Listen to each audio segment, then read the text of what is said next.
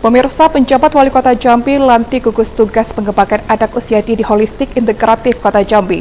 Guna kesadaran akan pentingnya fase anak usia dini bagi pertumbuhan dan perkembangan seorang anak. Penjabat Wali Kota Jambi melantik tim gugus tugas pengembangan anak usia dini holistik integratif Kota Jambi Selasa 16 Juli 2024 di Aula Rupa Dinas Wali Kota Jambi.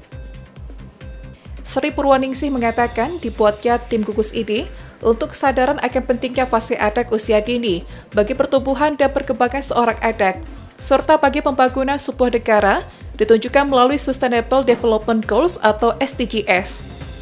Salah satu indikator dari SDGs secara spesifik menegaskan peningkatan akses dan partisipasi pada pendidikan anak usia dini atau PAUD yang berkualitas sebagai salah satu tujuan dari pembangunan global. Pemerintah Indonesia pun tidak ketinggalan menunjukkan perhatiannya terhadap PAUD, bahkan jauh sebelum adanya SDGs. pemerintah Kota Jambi menyelenggarakan kegiatan pelaksanaan tugas PAUD holistik integratif Kota Jambi tahun 2024. Teman-teman sekalian, kita semuanya tahu bahwa perhatian keseriusan pemerintah Kota Jambi dalam penanganan anak-anak usia dini ini sudah berjalan panjang ya. Dengan paradigma ya pendekatannya anak-anak usia dini itu lebih didominasi ke sektor pendidikan.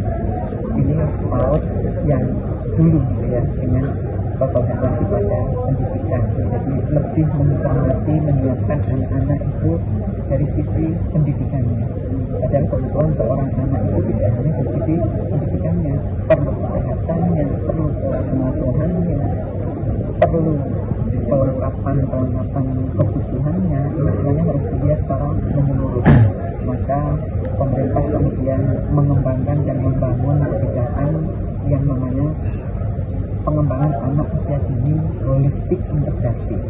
Apa bedanya? Yang holistik integratif ini mengkolaborasikan seluruh pemangku kepentingan, tidak hanya pendidikan, tapi sama-sama kita tahu tadi bahwa tim gugus tugas itu masuk di dalamnya mulai dari dinas pendidikan, dinas sosial, dinas PPKP, kominfo, dari instansi yang lainnya ada dari Kemenang, kemudian Agama, kemudian ada dari BPS, ya, dari dinas DPN DPA, artinya dibutuhkan uh, fokus dan konsentrasi dari semua pihak. Kenapa? Karena untuk memberikan layanan kepada anak-anak usia dini itu memang perlu harus bergotong royong semua pihak. Bahkan sekretaris daerah tadi kita lantik sebagai ketua tim tugasnya dengan tujuan untuk mengkonsolidasikan, mengkoordinasikan, dan menyiapkan langkah-langkah rencana aksinya apa yang akan dilakukan oleh uh, tim gugus tugas Kota Jambi ini menyikapi setelah pelantikan ini agar anak-anak di Kota Jambi nanti bisa terlayani dengan baik.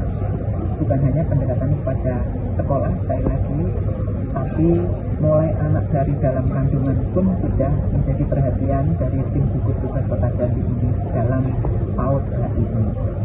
Jadi itulah PAUD HI yang kita laksanakan hari ini selain melakukan pelantikan kita juga sama-sama menguatkan komitmen untuk supaya memastikan anak-anak Kota Jambi mulai dari dalam kandungan sampai anak usia sekolah 6 tahun ini benar-benar terlayani pendidikannya terlayani kesehatannya, terlayani kebutuhan-kebutuhan dasarnya. Ini menjadi kewajiban dari pemerintah daerah terhadap uh, warga negara yang ada di Kota Jambi. Selain itu, tidak hanya meningkatkan akses dan partisipasi anak ke PAUD, tetapi juga meningkatkan kualitas layanan untuk anak usia dini melalui PAUD, posyandu, dan wadah lainnya dengan cara mengintegrasikan seluruh layanan dalam bidang pendidikan, kesehatan, perlindungan, pengasuhan, dan kesejahteraan anak usia dini melalui program pengembangan anak usia dini holistik integratif atau PAUD HI di Indonesia. Heru Syaputra, JEK TV, melaporkan.